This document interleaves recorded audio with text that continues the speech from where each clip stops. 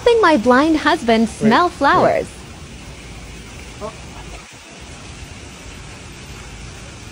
Wait. Oh. this smells so good.